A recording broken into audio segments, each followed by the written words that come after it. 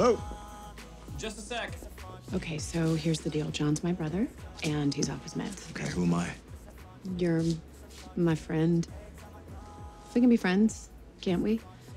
Okay, dumb question, but why don't you guys just tell the truth? Oh, that we're looking for President Kennedy, who time traveled from 1934. Okay, well, not all that, but why it's military? They should answer his questions, right? Yeah, well, we normally try to keep a lower profile than that, so. Why? Because. Sorry about that. How can I help you?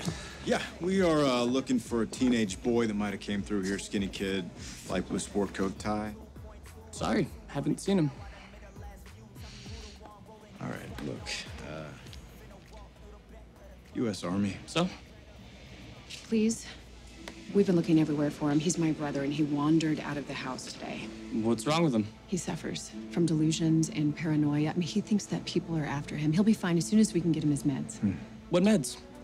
Um, what meds? Risperidone. It's an antipsychotic. I can call his doctor if you'd like. He, he came by about 40 minutes ago.